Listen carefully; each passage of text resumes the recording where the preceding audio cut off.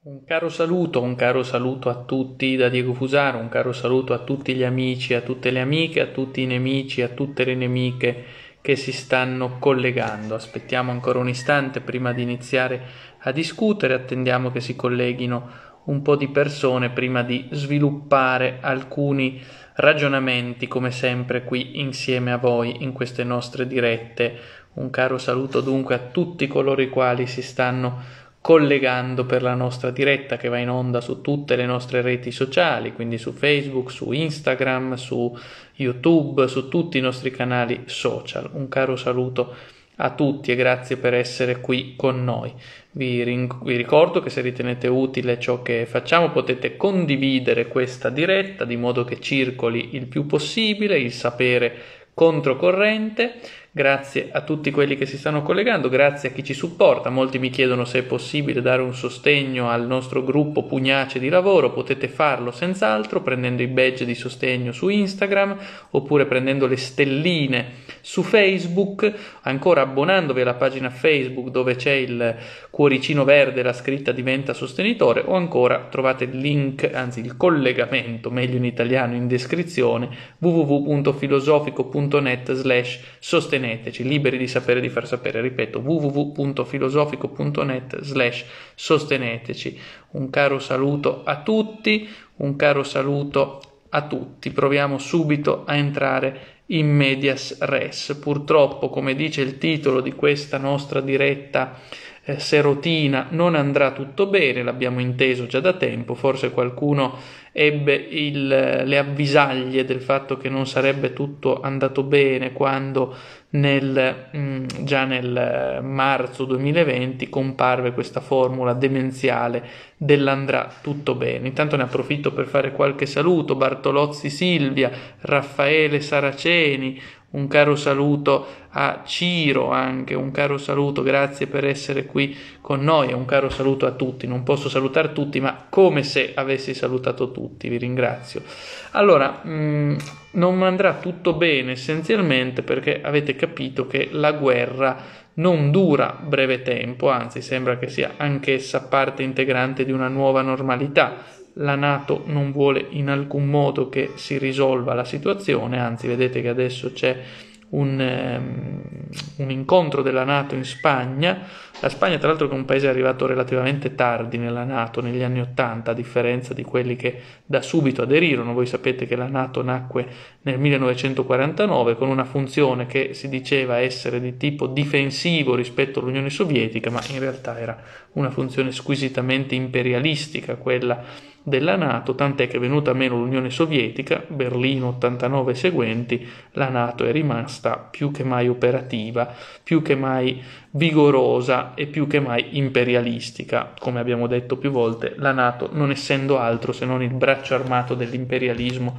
statunitense.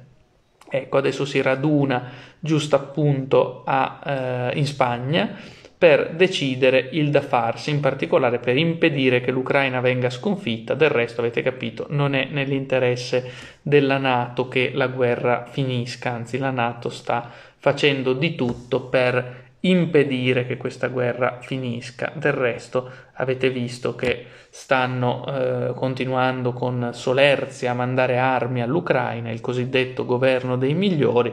Mandare le armi significa fare in modo che la guerra prosegua, questo è il punto fondamentale.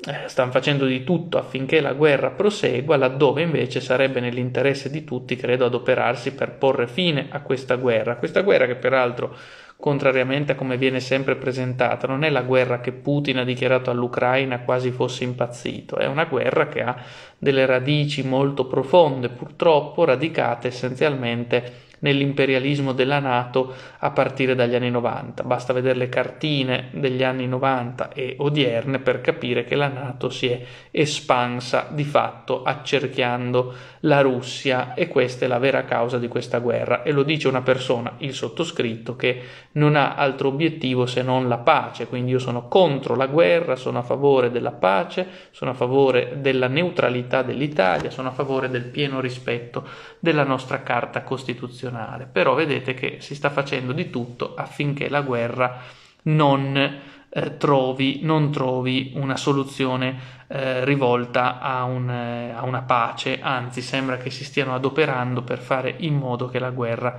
non finisca mai purtroppo. E la Nato è responsabile in questo. Sul fronte invece della questione epidemica, come sa chi ha letto il mio libro Golpe globale, capitalismo terapeutico e grande reset, edito da PM, essenzialmente eh, l'emergenza epidemica stessa non finirà. E qui non voglio adesso aprire per l'ennesima volta una lunga parentesi sull'emergenza come ars regendi, come metodo di governo. Chi ha letto il mio libro Golpe globale o chi ha letto Odio la resilienza lo sa molto bene, l'emergenza è un metodo di governo funzionale al neoliberismo e quindi non stupisce che le emergenze non finiscano e anzi, senza che nessuna di esse si risolva, ogni volta ne subentrano di nuove.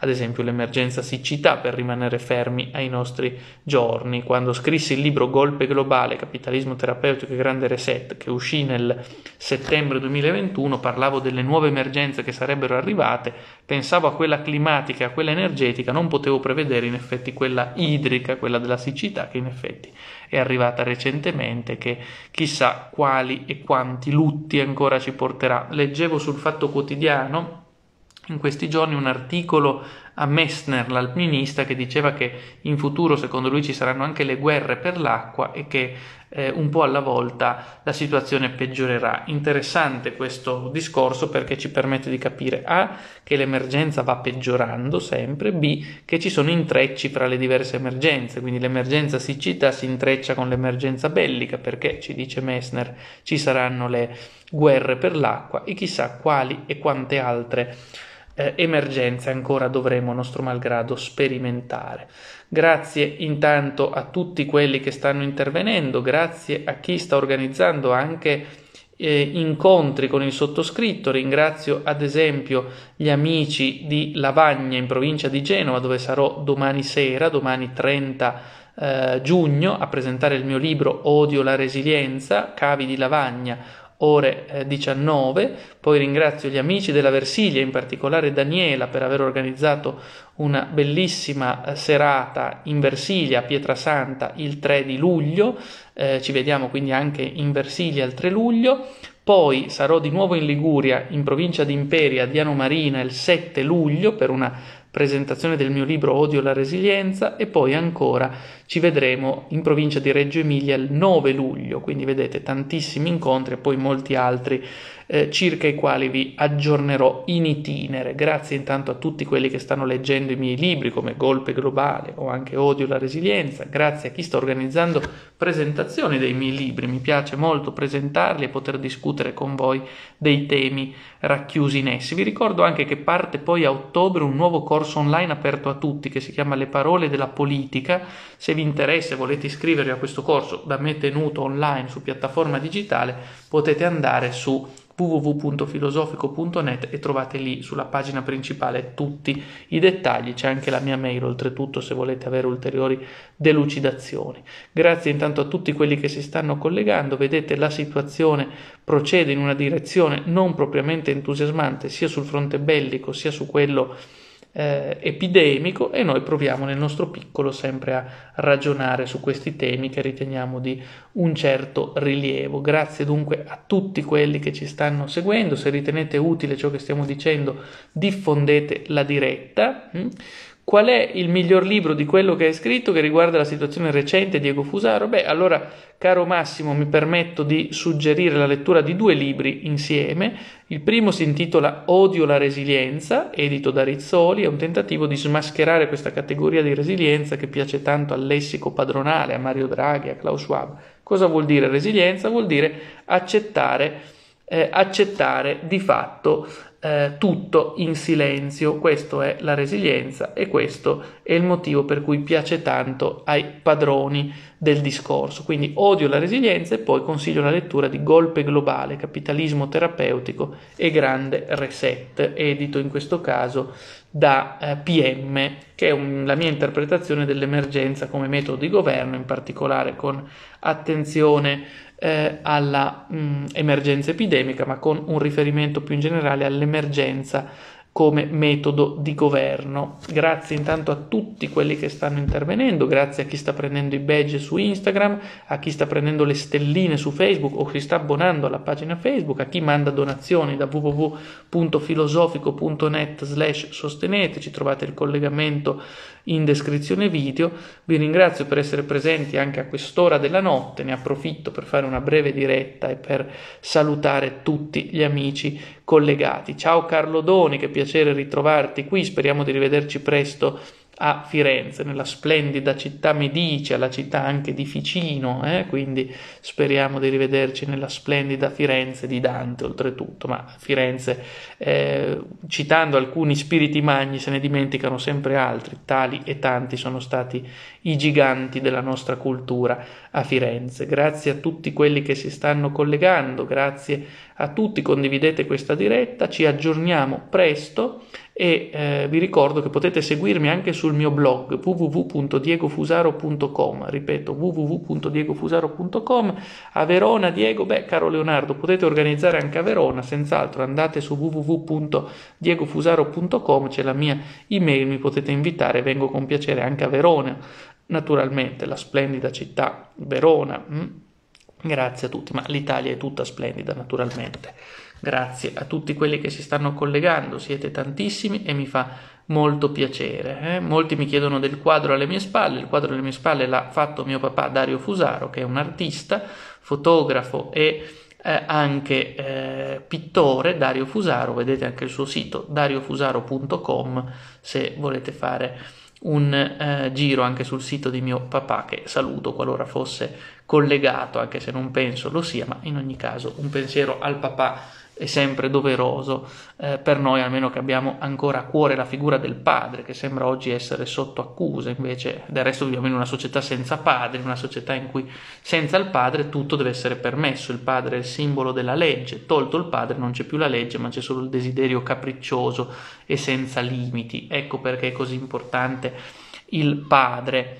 Eh, voi sapete che per i greci era tal punto importante che quando chiedevano a un greco chi sei tu rispondeva sono Achille figlio di Peleo, sono Ulisse figlio di Laerte, il patronimico, il Laerziade Odisseo, cioè il figlio di Laerte, il Pelì di Achille, il figlio di eh, Peleo, quindi vedete l'importanza del padre, no? E noi invece abbiamo completamente cancellato la figura del padre pensando appunto che eh, ci siano solo figli capricciosi che hanno desideri smodati, ma questo è un altro discorso, chi fosse interessato l'ho affrontato questo discorso in un altro mio libro che si chiama Il nuovo ordine erotico, elogio dell'amore e della famiglia, eh, edito da Rizzoli anch'esso. Grazie a tutti, vi auguro una buona serata, se potete diffondete questa diretta, sostenete il sapere libero con le stelline su Facebook, i badge su Instagram e le donazioni da filosofico.net slash sosteneteci. Un caro saluto a tutti, buona serata davvero da Diego Fusaro.